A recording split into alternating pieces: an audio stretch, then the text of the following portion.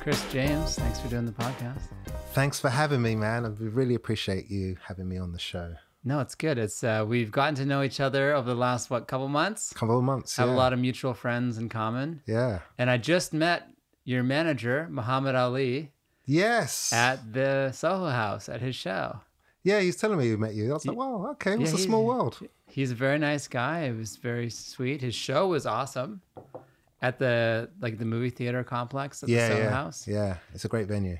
Yeah, I just caught the end of it when Donnell Rawlings was closing it out, and uh, yeah, it was great. It was a fun show. Very fun show. Who else was on the lineup? I don't know because I just got there at the end. Rel Battle was hosting, and I think Aaron Maliner was on it. A couple other people. I'm sure it was great, Yeah. but uh, like they had this reclined seating. Have you seen it? Like it's a theater. It was pretty dope. Yeah, it's awesome. It's kind of bougie too. very bougie. So House. So uh, exactly, exactly. So you came here. Uh, like, let's start back from the beginning of your career. You started in modeling, or Yeah. acting. Uh, yes, uh, I was started in modeling. Um, I kind of was working in a retail store. I was a top salesman there, and I got uh, I- sold I think a about fifteen hundred dollars worth of or pounds worth of uh, clothing in England to this African art dealer, and I got in business with him, and he ripped me off uh, because I got into business with him. Uh, I, I think I was like almost fifteen thousand in debt, and uh, Pounds. yeah. Wow. Uh, sorry, no dollars. Dollars. It would have been dollars. Sorry, Okay. I'm I'm converting it for you. Okay. Fifty, yeah, fifteen thousand, about fifteen thousand in debt. And uh, a friend of mine was doing part time modeling at the time. He's like, you know what, you you might need to do some modeling because with your qualifications and your academics, you're not gonna be able to pay that off. And I was like, really? And that's kind of how I kind of somewhat got into modeling. I mean, that's a great story. And it turned out to be like real modeling, not like shady modeling. Oh, well, th- my friend wasn't with a like. He wasn't with a really big agency. It was. Yeah. It was. He was with Ugly's Enterprise. It's still actually going. Is that what it's called? Yeah, his agency was called Ugly's Enterprise, and he is for really odd-looking people. If you Google it, you'll see it. It's like people with hu- um, immense tattoos or uh, piercings, and uh, sometimes really obese people they'll have, and they'll do legit campaigns. Yeah. Well, My- now in the poke, post like woke culture, models are everything. Right? Yeah, yeah. I mean, they were they're definitely ahead of their time. Yeah. Ugly's models, and so my friend was like a bodybuilder, Okay. and so I got a friend of mine who was studying photography, and he took some pictures of me like holding a shovel in his back garden. You're like, this can't be modeling. This is not. I, is this, is this, I'm being punked, right? yeah, and he had me take my shirt off, and We he buried a body. You know. Oh, it was, it was he was he was terrible. He was really bad, and I had all these bad pictures of me holding a shovel, and he was throwing water at me and stuff. Yeah. And then um, I said, "C- "Would these these pictures be good for ugly models?" And he was like, uh, "Well, try the top agencies first. Yeah. So I tried all the top agencies, and none of them liked me. And then I went to my friend, and he was like, "Oh, maybe you should try uglies then." so, So went- you you were where you're supposed to be. yeah. So I called the agent. I says, "Hi, I'd like to be an ugly model," and they were like, "Okay, covered." So I came in, and then the guy was just like, "Wow." Uh, he goes, "Well," he goes, "I don't know if you could be an ugly model because your friend he has an amazing chiseled, uh, like." bodybuilder body, but he has a pudding face, and that's why we have him ugly models. but you got a kind of good look, and then your body's not that terrible, so I don't know what to do with you. But then he said he's starting off. Can you get punched in the face and come back? I- yeah, that's, that's what I should have done. Yeah, I should have said that. And then he was just like, I'm starting a new division called Rage Models, where we kind of trying to get into the fashion market, and that's kind of where I started. yeah. Yeah. That's a pretty good gig, right? You wake up and you go and like snap, snap, and you go home. Yeah, pretty much. I mean, I found it pretty boring. You know, it could, could be. It's a it's a boring job. Mm-hmm. I mean, it's excite the the perks are exciting, and you get to travel and, and meet you know hot people and stuff like that, and parties and all that. But the model parties. yeah, right? model The- parties. The, the elusive model party. yeah, there's Yeah. a lot of lot of cool things happening at the model parties. Is it really, or is it? Is no, it like, no, oh, is. for, okay, for real. right. Yeah, that's that's that's legit. That's like I mean, I'm I was actually pretty tame for a yeah for a guy that's partying like that because Right. I didn't do any of the drugs or anything like that. So That's good. Yeah, I did drink every now and again, but I wasn't like a heavy. I was more like into the ladies and stuff. Yeah, you seem pretty level-headed, and you know, it's gonna Yeah. go off the. Yeah, I was too end. scared to do that stuff. Yeah. Well, it's cool to know that it's real because, like, I was from music business, and I was like, "Oh, the studio, let's go to the studio," and it's boring. You're like, "Yeah, record it one more time, do it again." It's like nothing what they show on TV. It's not a party. Oh really? So you Nah. guys don't do that? Not not like uh, what you'd think. Most of the time, it's just working. Really? Yeah, yeah. I mean, Oh. there's some studio parties and stuff like that, but it's like really not a thing Oh, like gonna, it's made out to be. I was going to ask you about those Yeah. studio days. No, no, nothing. Oh, all right. That- it- it's a lot like this. Like how was that? I was a little. You're a little flat. You're a little sharp. Uh, let's try try it again. Mm. Yeah. Oh, it's like being a coach. How long were you in the music business for?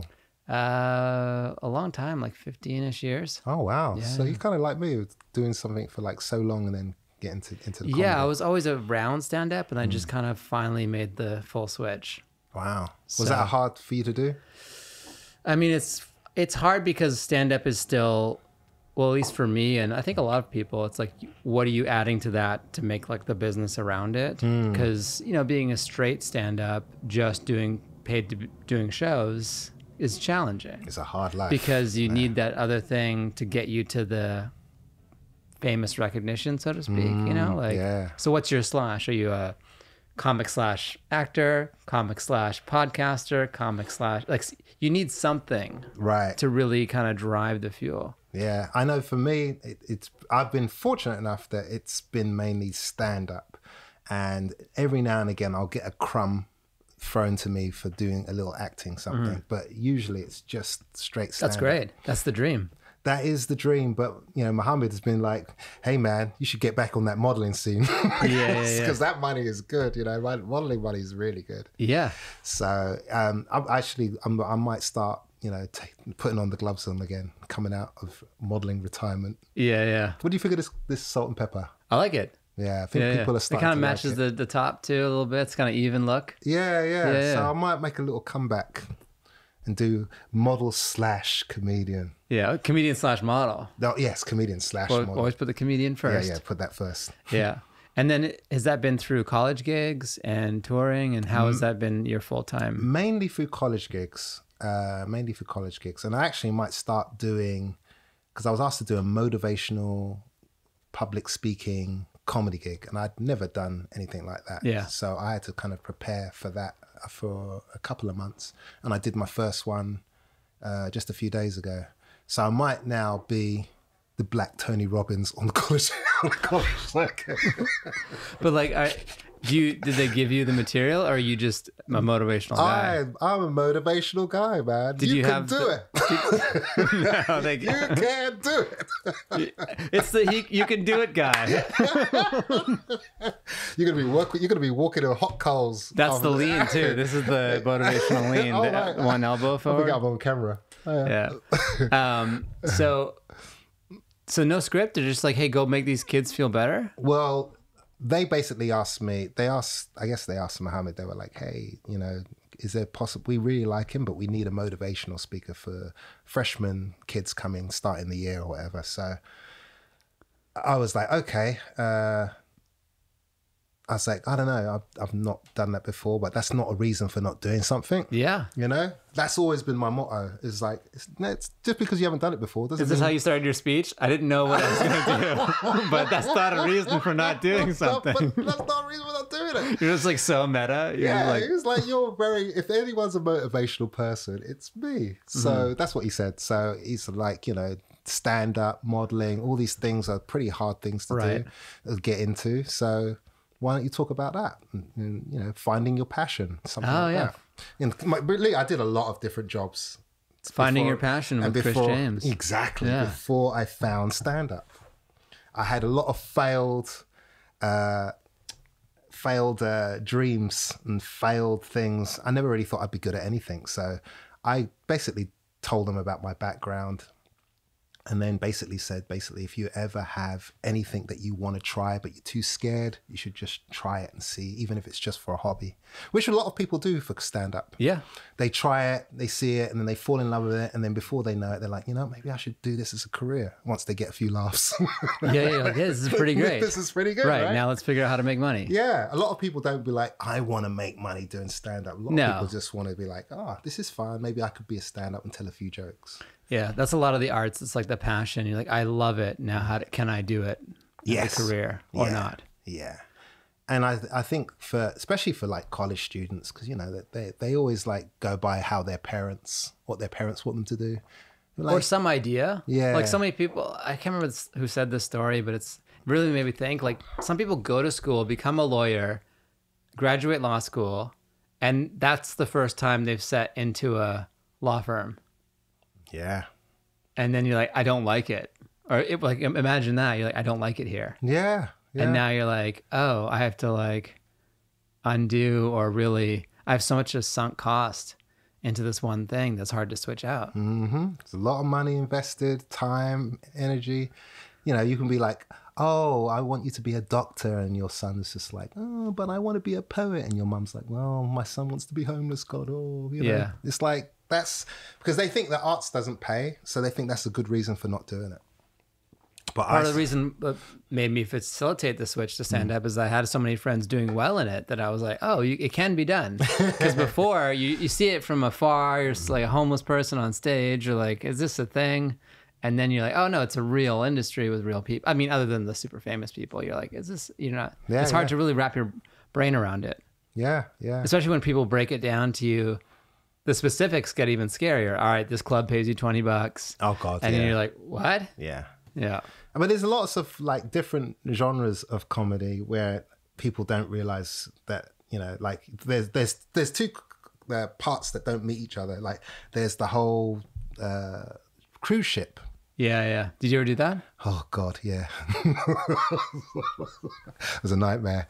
I don't. I have never it. been on a cruise. It doesn't seem appealing. It's horrid. It's like a whole. It's like a whole other world of stand up.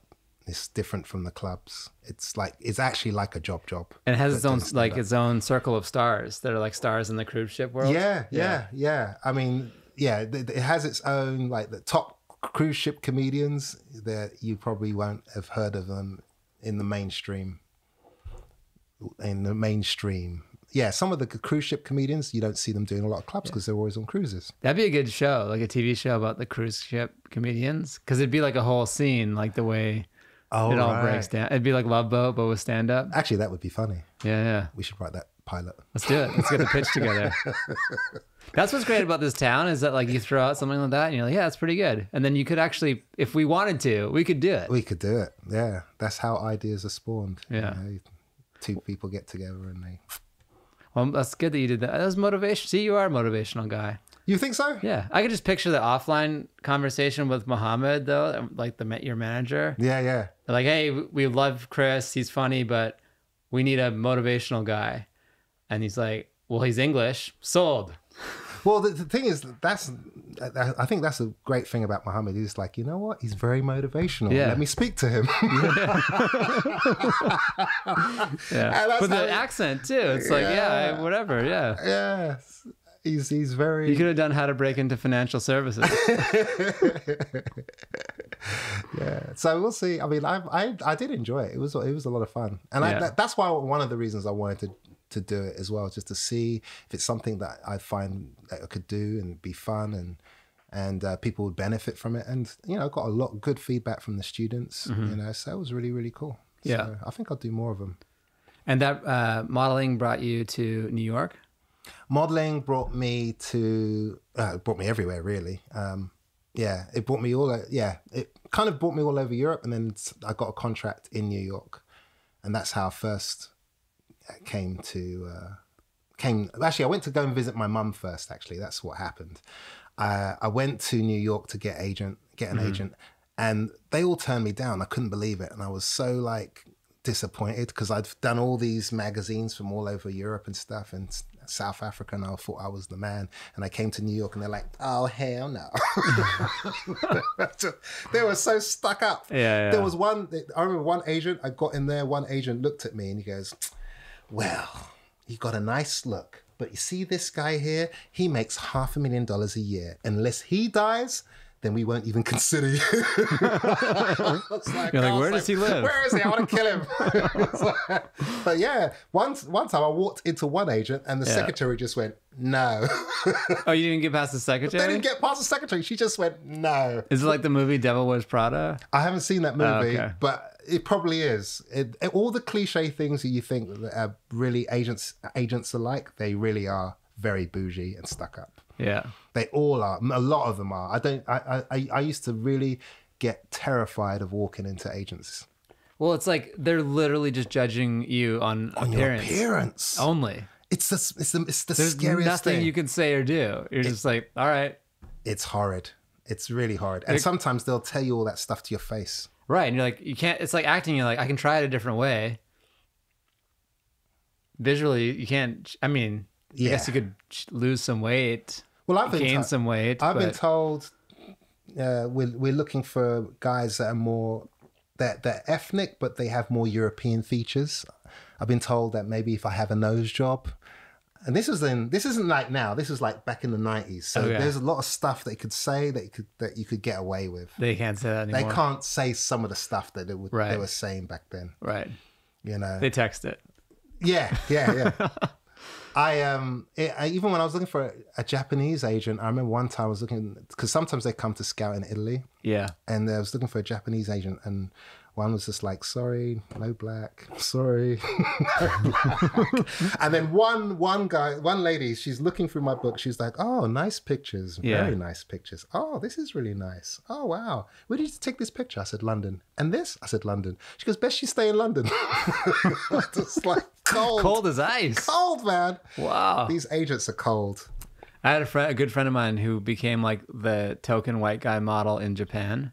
So it'd be like five Japanese guys like on a trampoline with like the beer, and he'd be like the one white guy in the back. And he had a whole big career. I went and visited him in Tokyo. I went to a model party. It was fun. That's what I was hoping to do. I was hoping to be that token black guy in Japan, but they didn't want to pay my flight. Only one agent said you can come, but you'd have to pay all your expenses to come, yeah. rent and everything. And Japan's expensive. Oh, it's super expensive, and it's co- it was mm. cool though. It was cool to mm. visit and just check it out and see kind of like How long were you there for? I was I was in Tokyo for three days, so not not a ton of time. I want to go. I want to go to Japan. Yeah. It feels that's the thing about travel now, like post COVID, you're like, oh, it's like a new Mm. world. It's like an extra thing just to I guess or you could just not worry about it, but It's hard enough. I mean, travel's a nightmare as it is. It's Yeah. like even after 9-11, then they started shoes off. I mean, before that, it was great to travel. Oh, you didn't yeah. have to do any of that. You could come in with water. People don't realize, like, if you're like if you're like older, older, you remember how easy it was to travel back then. yeah, yeah. Now it's just the mission. It's like work. You got to take your shoes off. Someone's got to squeeze your crutch and you up your all your you know, check my legs and stuff. I did most of my traveling post 9/11, so I didn't really get a good uh taste of Oh, you old- didn't get the, the no. good life, the taste of the good travel. Yeah. Yeah, before it was so nice, man. But yeah, well, you know what? You get used to it. Totally. And then so you moved uh, to New York and you started stand up in New York? So um, basically, so I did. So I went, I went back and forth for a bit, and then I went to. Then where did I start? No, so then I came to Los Angeles, and I was still modeling, and a friend of mine told me to um, do open mics like with my poetry and stuff because I wanted to do a one man show because I was trying. Also, also they were trying to get me into acting Yeah, yeah. because I had a talent. They talent. still are. Yeah, still on. Nothing's changed. they were trying to do that, but because in model agencies, that's the next step. It's like, Yeah. okay, we'll get you. You look good. Maybe you could be a leading man. Right, right, right. But they don't tell you that you've got to know how to act. so Uh, I mean, do you? No, you do. I was like, yeah, I want to be a leading man. And I couldn't nail any of these auditions. And I was like, maybe I should just do a one man show and all these casting directors and people. Like the plot of La La Land. Is that what that happened? Yeah, Emma Stone, she can't get she's doing like bit roles and s- cop films and stuff. And then she's like, someone's like, you should do a one man show, a one woman show, and that's what she does. And then she got big from And she it. becomes a a leading woman. See, that's what I was trying to do, Yeah. but it didn't work out. And now you're in my garage. yeah. so I did I did some character poetry. So I'm doing these character poetries and I'm doing one by one and she was just like, "You know what? You know, your poems are funny, but shitty rhymes." And she says, "Why don't you just do stand up?" And you, you saw a couple of the stand ups. Your poems are funnier than the stand ups. And I was like, "You know what? Let me try stand up." So I started going to stand up open mics and just gradually it just started coming together. And is that how you met Asif and Muhammad? Well, how I met Asif and Mohammed, I was still modeling back then. I had a I had a uh, campaign for Kohl's, uh, and I was doing um, a catalog shoot there, and um, they had a thing at Zanies in Chicago, and it was we were auditioning to try and be like I don't know, just uh, I don't know to be scouted by the club. Yeah, yeah. So it was me, Asif, Hannibal, and uh, who's the other guy? I can't remember the other guy. Anyway, it was just three. There was four of us that were actually. So it's like 2010. This is a while back. This is like maybe twelve years ago, maybe Okay, yeah. thirteen years ago. Yeah, yeah. It was a while back, Okay. and uh, yeah, maybe longer. It maybe it was a while back. Yeah, yeah.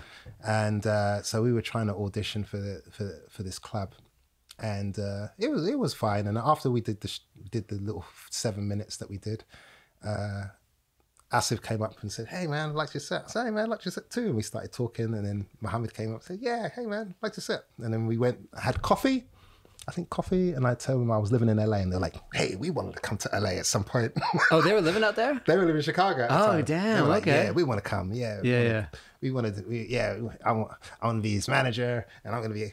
It was like, it was like it was manifested. Wow, they're breaking it down. They were breaking it down. Yeah, I'm going to Wow. I'll be a manager, and, and he's going to do movies. And we want to go to Hollywood, and I was like, okay, these guys are confident. that's, that's what it takes. That's what happened, man. Yeah. yeah. And then I left. I think I left Like I'll never see them again. I, I well, I, we kept in contact Yeah, because yeah. every time I kept doing a, uh, I had a gig. Every time I come back for, for Kohl's, because my clients, a couple of clients in Chicago. That's Kohl's, the department store, like K O H L S or whatever. Yeah. Yeah, so every time I kept coming back, I kept uh, spending the night with. Instead of staying in my hotel, I'd just stay at their place, and they Yeah. show me a Chicago, and we hung out, become real good friends. And then Asif would take me to all the mics and shows, and we'd do stuff at, there. So that's how we kept in contact. And I didn't see them for a few years. I kept hitting them up on Facebook, but I didn't see them for several years. And I was in South Africa for like two or three years. And by that time, they were in Hollywood. Yeah.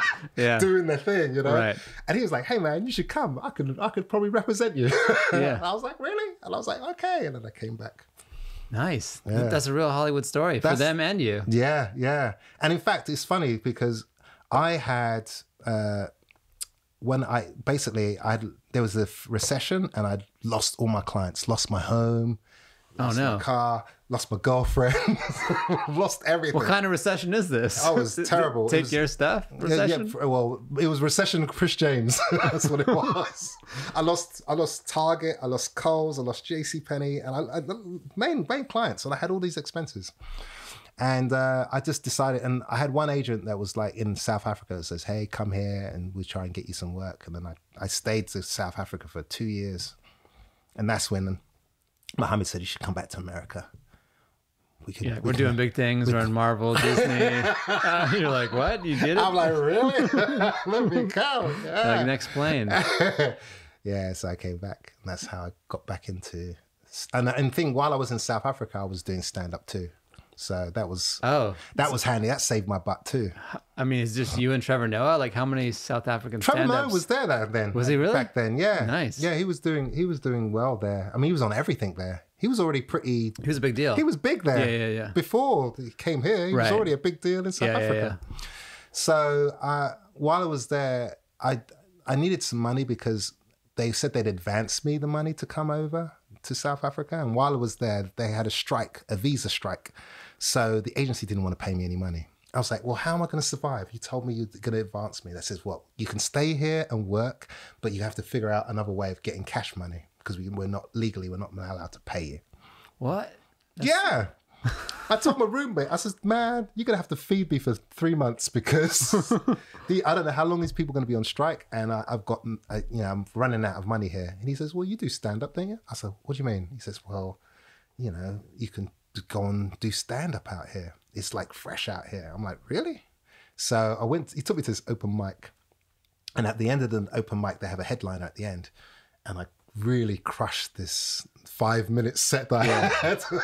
and the headliner was just like, "Are you are you performing anywhere else here?" I'm like, Yeah. "No, I just did this open mic." He was like, "Hey man, I don't want to take you on the road with me." So I toured with him for what uh, almost a year, That's amazing. and then he was like, "You know what? You can headline." And then I started headlining for him. And he was opening? He was no, he was he was a producer and headliner. So Oh, okay. he was just like, you know what? He kind of rep rep me as a headliner, and then he headlined himself. But then he had someone else open for me, and then we just did our own thing. Oh, nice. Yeah, so it was really really cool. So he really put you on. He put me on. He saved my butt because then by the time I came back to LA, Mohammed was able to sign me with a college agent, and then get me to do colleges, and that's Yeah. how I started to really get full time and doing just stand up. Yeah. Yeah, because the colleges is like a big first step in America for a lot of comedians because it pays well. Mm. It's like a touring level income. Yeah, yeah. Because I wasn't like, you know, I didn't have credits to be, and I wasn't opening for anyone Yeah. at the time to get into the comedy clubs. How do you uh, manage things about like uh, thinking about like your draw and like your audience? Because that's that's a big part of like being a stand up today is like how many people know me, and if I go to a club, can I sell it out? Yeah. See, with colleges, you don't have to worry about that. Right. but at some point, you will have to worry about it. yes. Hence is why I'm tr- trying to do the whole Instagram and social media and Yeah. Thirst trap. yeah, all these Yeah. different things I'm trying to do, and uh, you know, also the acting part as well. Yeah. So you can kind of get a good role on something. You can get your get your name out there. Yeah, that's nice jet fuel to kind of give people, uh, give you awareness because people will go see you. I'm sure it's happening with Asif, like as seen in Marvel, as Oh, seen on The. Mandalorian. Yeah. And you're like, yeah, and then you can just catalog, add that to your fan base. Yeah, definitely. That that does help, and I'm seeing how it helps him. It, yeah, I have a few of my friends. I can see how it helps. Yeah. So, I mean, it helped even the biggest comedians. Like Seinfeld was already a huge comedian before he had the show. right. and then you have like you're you're big and then you get even bigger with like that kind of uh star power behind you and it can be self-generated now like you can do it yourself on instagram it's a little harder now it's a little saturated but like it can be through traditional media or algorithmic media which we, Right. we're all playing that game of like likes and followers and I know. I mean, audience. I'm definitely. I don't think I'm that great at it. Uh, I, I've not been that successful on Instagram. TikTok though, that's good I'm not bad on TikTok. i'm the opposite i'm better on instagram than tiktok Really, I want to be better on Instagram to be quite honest, because I really don't. I shouldn't say this on there because I don't know. I don't want TikTok to, to fire me. right you, you get shadow banned I don't know TikTok banned or whatever. what's um what what what kind of uh, things have been working for you on tiktok Well, at first I was just doing. Sometimes I'd do little jokes and I'd have little green screen of pictures that represent the jokes that I do, or Yeah. I'll try jokes sometimes on there, and they. That oh was yeah, I remember well. we were talking after the show Hmm. about this. You, uh, the, the thing you do for that. Yeah, so I do sometimes I do green screen or I do green screen of bad ads, bad commercials, and I'd narrate how what I thought was bad about them. Or I would do old old stuff that I'd done, old modeling stuff or old commercials that I'd done, and I'd talk about the process and try and make some fun of poke some fun out, out of it. But yeah, that's what I've been doing on TikTok. I tried the dancing a few times, but It's a good I'm very embarrassed about that. I, d- I tried I tried to do a couple of dance ones, and a couple of my friends says, "Chris, what are you doing? what are you doing with your life? Why Are are you you okay? dancing? Come Why back is- to South Africa. you can open for me. What are you doing on TikTok dancing?" Yeah. So I was like, "No." that I did a couple of tick dance ones, and they they didn't. I wasn't feeling that. But It can really take off though. I mean, I have friends that they tour now because of TikTok. really, Yeah, yeah. oh, so I should keep keep going at it. Yeah, yeah. I mean, what's your number ad? uh, I don't want to be bragging, but sixty-one thousand followers. That's good. I mean, you're you're on your way. Nah, you need like I think like a million followers is be like I or yeah maybe five hundred thousand is good Yeah, for a few TikTok. hundred, but, but you're at six. You're not at six thousand or six. Yeah, yeah, yeah. No, that's good. How It's often good. do you post? Uh, I was posting every day. I've been I've been slacking. helps, I've yeah. been I've been slacking the, the last week or so. Yeah, Sometimes you have other things in life. yeah. I know. I've been slacking on my Instagram, but like hmm. when I started posting every day, hmm. followers go up. A lot. Oh yeah, I mean, and not if it's five, ten, whatever it is, if you post every day, you get every day. It's like you feed the beast, the beast feeds What, you. what do you post? I'll, I started posting on during the summer. I was like, I'm gonna post a photo. I don't care if it's like a bad photo from a show, a screenshot of a Twitter joke. Something is going up every day. A throwback photo, just anything. Really? Yeah, I started seeing traction. Hmm. Yeah, I just I've been posting shows, but that's not really, in, yeah, it's not really on, on Instagram. Like when I have a show, Yeah, that's the only time just to advertise Or a pic from the show, like you on stage. or a pic from a show. But it gets a little like, uh, yeah, I feel gross doing it, but like, But- the, but the whole thing is gross. but that's not the that's not the pics that they like the most. They like me posting the modeling pictures, right? Yeah, yeah. the thirst traps. The thirst trap, yeah. I mean, hey, there's a lot of thirst trap comedians. That's their slash. I'm a comedian slash thirst trap. yeah, so Usually the other gender, but yeah, that's weird. Like I'll be the I could be that guy. you could be a male thirst trap. male, male thirst trap. I mean, could be, let's say, R. I mean, I'm a I'm a I'm a male old thirst trap. okay, well, have you crossed the line? Have you done a shirtless pick? A shortlist pick. What's Shirt, that? like the shirt off. no, not Okay, yet. cool. So you, you you haven't crossed that line yet. Well, you know, I feel weird. The reason why I feel weird is because I am 52 years old. No, you're not. Yeah, Oh my god. that's weird for a 52 year old man to be doing taking ab shots and then stick them on Instagram. I mean, I would have knocked easily ten years off of that number. Really? Yeah. oh, okay, that's good. especially since our our social circle and the people I've met you through and all that stuff. And and you're you know you've got all your hair, you look great. for now, I, just a couple of years, I can start. Something's gonna fall out, my tooth or whatever. I don't know. I just random tooth. You'd be the first guy, just like um, what happened? I age, tooth. yeah, they, Tooth. They don't fall out, do they? yeah, they do. What? Yeah, teeth fall out, man. You just lose a tooth you can lose a tooth. Yeah, just, just from being old? yeah. I mean, obviously, it's some other things, but for the cavity? age age catch up and then it affects either you know your teeth your your your ankle your your knee whatever it is something falls off bald patch Oh no, something you're all right how old are you I'm 41. Oh you're getting there something's gonna fall off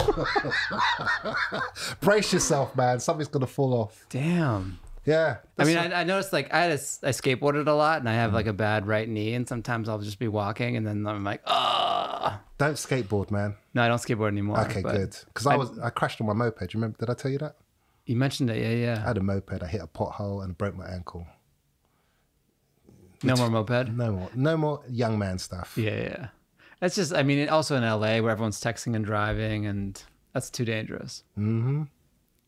But you look like you take care of yourself. So I try to. I uh, I work out. I don't eat after seven. Uh, you so intermittent fasting? yeah, I mean, if that's it, if that's what that is. Yeah. What time do you start eating? I try to. I mean, in theory, I'd like to push it till late, but usually I got kids, so like we have breakfast At what ten? eight.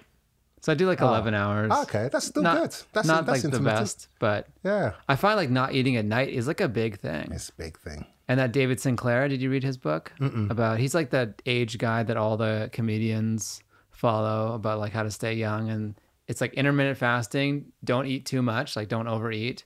I mean, lower carbs and some supplements and stuff, but like that's the big of it. It's like don't overeat. What do you use on your skin? I use a little bit of moisturizer, some Kiehl's, Oh wow, you Yeah. like you're like oh okay, you're but not really not, not a lot. I, I stay out of the sun. Okay. Yeah. Kiehl's is a good brand. Yeah, yeah. They have this one men's lotion or something. It's great. I'll show you if you want to see it. But Yeah. you, you don't seem to have any problems. You probably got the secret modeling stuff. like they don't even sell the. It's just baby ground up babies. you know? No, no, that's good. That Uh, baby yeah, juice? I just use regular. What was it cocoa butter. That's it. Yeah. That's a lot of black folks. They just use that standard cocoa butter. When I had shorter hair, I would use that in my hair because my hair gets kind of dry. like cocoa butter. Yeah. Yeah, it's good. Just like for, a little bit. yeah, it's good for everything. It's good for a lot of things. Is it actually? They, do you know what they What say? is it? They, you know what they say as well? It's good for you uh, for a lot of things. What's that? Uh, it's like um, coconut. Coconut. Co- no, it's a coconut. Um, it's like a coconut oil. Yeah, it's like a coconut oil. Argan oil? No, coconut oil. Coconut oil. Yeah, To eat. people use it to cook, but they put it in their hair. They put it on their skin. They use it for wounds. I don't trust people who use food products on their body. Like people are like, I use olive oil on my skin. I'm like, uh, Yeah, yeah. I mean. I've never tried it, but that, I've been reading some articles where they say Yeah, yeah. coconut oil is good. Yeah. I mean, yes. uh, in that David Sinclair book, he talks about yeah, sun is a big one too. So like Staying out the sun, and smoking. Smoking is the number one. killer, Uh, aging. aging. Yeah. Really, I don't know how smoking can age you. I think it affects your cells. I mean, I'm not the, the doctor, but I highly recommend the book. It was very eye opening. What's it called again? It's called uh, it's called like it's by David Sinclair. It's like age and why we age or something. How thick is it? It's like 220, 2, 240. Not too bad. Okay, because you know, I Model. Get, I get tired. You know, models get tired when they read reading books. You so you're at home. This is what I picture how you read. There's one guy fanning you, one guy's feeding you grapes, and then you're yelling at the guy who's reading the book, being like, "Skip this part." Is there pictures in the book? I need pictures. I need picture books. It's just the sun with an X through it. I have a hard time with re- like, like I get so tired. Uh, well, it's dyslexia as well, so I get tired when I read. Very. Have you tried OpenDyslexic? What's that? It's a font. Uh, yes, yes, It's amazing. yes. I actually use that for voiceover stuff. I've used the the fonts. Yeah, Yeah. That- that's that's helpful actually. Yeah. I mean, helpful. I'm not, I don't think I'm dyslexic, but I tried it once. I'm like, I can read way better with this font. Yeah, it like changes where the serifs are. yeah, yeah, yeah. Yeah. that's great. And the fact that you can use it on your Kindle and any book. Yeah, I should get a Kindle. Asa keeps telling me to get a Kindle. Just a black and white one. It's like 40 bucks or something. Mm, yeah, I should get a Kindle. Yeah, get all the books on the Kindle, read about stuff, and you, you can save money. You don't have to have a reader. Have you ever seen like a real proper English butler? Do they still exist? Uh, uh, only in movies or the Fresh Prince of Bel Air. Those are the only times. That, that is a very big stereotype. Is a British butler or Yeah. nanny. They had a bunch of nanny shows where all the nannies were British. My that's how my friend. I have a friend who came over here as a nanny, and she was making so much money because she was a British nanny. Yeah. It's insane. And then she opened her own business with other British nannies. And sh- they just leaned into it. They're like, this is what Americans want. Let's go. It's so crazy, but yeah, that that whole accent thing is very marketable. Yeah. It really is marketable. I remember one time uh, a college brought me up. They were like, "This is a British African American comedian." Do you prefer British or English? Or you don't care? she said, "British African." American. Sorry. Do you prefer British or English or you don't care? Oh, I don't care. I mean, I'm not. I'm not married to nationalities as long as it gets the job done. Yeah, yeah. If it if it's marketable and it makes me money, then lean into it. But Can I'm not- Americans go to England and start like the American nanny Nah. where they just neglect the kids and hand them a phone? or do you have a soccer team that you like? Uh, do I have a soccer team that I like? Um, I'm not really into soccer anymore. I was into what I, I used. My my hometown is Watford. Okay. I have no idea what that is. Yeah, no, you're not missing much. But it's a it's a it's an okay town. But uh, Anthony Joshua's from there, the boxer. Okay. Okay, uh, Spice Girl is from there. A Spice Girl? A Spice Girl is from there. Which Geri, one? Geri Halliwell. Okay. And uh, who else is from? And, and oh, and what's his name? Um, the guy from Wham, George Michael. Oh, okay. There you go. That's a pretty famous there. alumni. Yeah, I'm just look at me, just name dropping my town. Yeah. And- Yeah, yeah. you know like, we took out the other part and now we have this. Go whatever town you just said. Watford. Watford. And Chris James is from Yeah. there. Yeah, so not a bad little town. Yeah. I think if I had to do it again, I would have gone to London right away. Because as a Canadian, it's easier Mm. to, than coming to America, which is because we're part of the crown and all that stuff. yeah, yeah. So I, you could go there for a few years, no problem. And I totally would have done that. After like going to school a bit out there, I was like, So oh, you've never been? I had never been until I did this. I was in business school. I did the like two weeks abroad. Oh, did you like it? I loved it. I loved the school out there was super fun and like everything was great. Yeah. Do you think you could live out there? I totally did. After that, I was like, I want to move. I got, I was so Anglophile. I was like, let's go. What made you come to America? The biz. The The biz. biz is here. The biz. You know, I did New York for a bit, Mm-hmm. and then, uh, but it's a, it's still a smaller version of entertainment than when you come here. You're like, oh, okay, it's really here. Stand up. Part of me would love to do the New York stand up thing like authentically, Mm. and like comedy cellar, and like do all that stuff. But I feel like I'm entrenched here, and this is my home. Yeah, I like it. I, I love, I love, I love the lifestyle of and the environment of Los Angeles. I think sometimes for some people, New York is like everyone loves New York, but I feel like club after club, spot after spot, freezing cold, you know, endless just doing spot by spot by spot. I don't know how long I would want to be doing it like that in New York City. this last trip I Mm. did in July where I did that, it was the first time of all those trips. Mm. And I used to live there, so I know the city where I, I just felt like something about it wasn't the same. And I don't know if it's post COVID or just me Mm. changing, but I didn't enjoy it as much. Yeah. Even though the shows are great, the stand up was great, but like what it was and what it takes out of you changed for me. Right. Yeah, I don't know. I don't know if I I don't know if I I don't know if I like the city as much, the environment of the city, cramped up on a train, going up the escalators, especially as you're getting older. I Yeah, you know, you know, Two teeth are falling out, you're digging through the train Yeah. for your tooth. think about it. Yeah, You're old, you're old. I lost an comic. AirPod and a tooth. Can you help me? Yeah. Get out of here. I just think just an old just I just imagine myself 20 years from now if I want to still be doing doing this am I going to be in a city like that Yeah. going from spot to spot I don't know if I'd I don't know if I'd It requires a different level of income and uh, wealth to do it.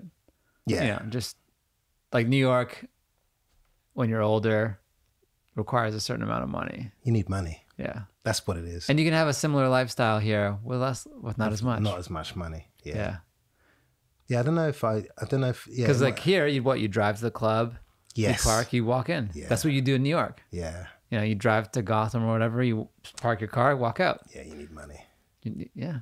yeah So a rich man in New York I can be That's the name of your next album.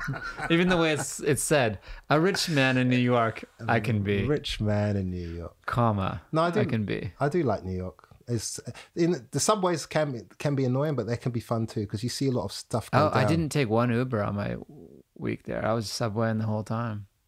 I know it like the back of my hand, so I'm like, we're going here, we're going here. So it's like, it's And- it's so powerful. There's so much things going on. Yeah, yeah. It, it, it feeds you as a creative. It feeds you. oh yeah, you live. I mean, that doesn't go away. You Mm. live more in one week in New York than you do like a whole year here. Yeah, I, I think that's that's one of the benefits. One of the biggest benefits as a as like a since I saw you in July, Hmm. we were hanging out at Caroline's. I can. You're like, what have you done since then? I think I did a couple stand-up shows, yeah and I wrote a bit. yeah and like then I was between I was in my box of my car and my house, and like, okay, like you didn't really li- like you didn't live as much, yeah, that's true. and living can be like losing an AirPod on the train or like these stories that happen, but it also makes you kind of write more and be more in tune, more present. yeah, We can be kind of detached over here. And like if I wanted to hang out with you, it's like, what are you doing? Oh, you live over here. I live over here. Oh, you have a show at seven. I have a show at nine. It's like there's hmm. no no spontaneity here. yeah, yeah. That's that's. But I still love it and it's my home and I've fallen in love, re-fallen in love with LA now. And I no longer because I've mentioned on the podcast quite a bit of like me going back to New York at some point. And I think that's now. Are you gonna go back? No, I'm not going to. Oh. But I always had this kind of like closet dream that like kind of like I hadn't finished, I'd unfinished business in New York because I was there for three years. It was a short time. But now I'm like, I like LA and I want to invest more into my LA ness. Hmm. And I feel proud of that. Yeah, I, I do. I do like it here. I like the fact you can go to the beach. You can go hiking. I go hiking every morning. Where do you go? Runyon. Okay, I do Fryman. Have you done Fryman? No, where's that? Oh, it's right over here. And she is. Oh, Studio Yeah. City. Okay, it's nice. It's really nice. Yeah, yeah. like we'll do it sometime. Yeah, I'll text you. Are you? Where do you live? Uh, I live on. Um, do you know Rampart Boulevard? But It's by, it's by um, Echo Parkway. Yeah, Rampart. That's not too far from Dynasty Typewriter. Oh, really? That's Yeah, where the that. theater, that- yeah, that- yeah. Oh, okay. Yeah, yeah. Rampart and what? And third. And third. Yeah, yeah. It's it's probably like uh, a couple minutes from you. Oh wow. Yeah, yeah. It's a great place. Heard people that do stand up there. They do stand up and variety shows, um, theater shows. Okay. It's like 200 seat theater, super fun. I helped them start it a couple years ago when they were getting their business plan together and stuff. So oh wow. good, good team. Yeah. Um. Yeah. I. Yeah. I, uh, It's good. So what are your goals for this next year coming up? That's usually how we wrap up oh, my goals for next year. because then they're on tape and we have to hold you accountable. Okay. Uh, let's see. So I'd like to do more motivational speaking. So because I really did enjoy that one show presentation that I did. So I'd like to do. Did you have the thing, the mic? No, they offered me it though, but I was just like, I was just like, nah, man, I, I'm not ready for that yet. You just you would transform into an entirely different person. yeah, I, I, I don't want to. I, they were like, you have to laugh up. Like, no, I don't want that. I, I just want the regular Right. hold the mic. Uh, I got to be able to do this. um, uh, I'd like to do more more acting stuff, more acting roles. I'm definitely gonna do more print stuff as well, more print work. Um, what else am I gonna do? We're gonna write that thing we already forgot what it was. Oh, we back. should write a pilot. What was that about? It sounded good at the time. what was the pilot? Um, what, uh, oh God, we forgot. That's not good. So two old guys forgetting forgetting their plans. oh, and I'd like to do an album as well. That's a good. Yeah, album's a good one The album is because that's good cash flow and Yeah, I have. I have a friend who's getting really good residuals on Yeah, his album, yeah, definitely. and he said he's doing he it's off clean tracks. Yeah, If there's com- comics listening to this, he said he's making so much money off clean tracks. So if you think about doing an album, make sure you've got a couple of clean tracks that can cash in some money. nice, clean tracks, a good album, acting, potentially some sort of pilot, and uh, oh yeah, and then um, yeah, and presenting and presenting. Yeah, Black Tony Robbins, Black Tony Robbins. I motivational. want to see you at least just do one lav one for me. I want I want to see a picture of the little thing. You can do it. Yeah, and you're walking on coals and telling people what to do. Well, plug your TikTok, plug your socials. Oh. Tell us where to find you. Okay, uh, I'm on Chris James Comic, both on TikTok and on Instagram. That's as easy as pie. That's a, is that a saying? Easy as pie? Is, Yeah. that, is that an American saying I or don't know. Canadian saying? Who knows? I just made it up. and yeah. uh, follow Chris James. Thanks so much for coming to Thanks for his show me, business podcast. Yes. And uh, hope to hang with you soon. Yeah, yeah, definitely. Same. Thank you for having me.